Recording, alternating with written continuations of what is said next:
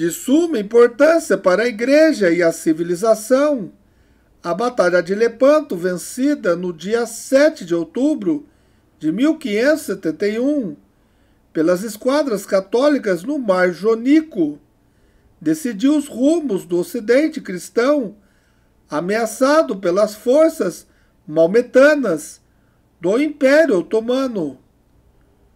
Foi a maior batalha até então travada na história. Este quadro do Palácio Ducal de Veneza representa a Batalha de Lepanto.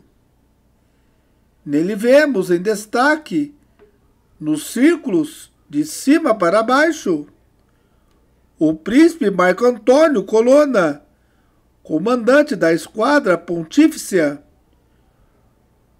Dom João da Áustria, generalíssimo de toda a frota,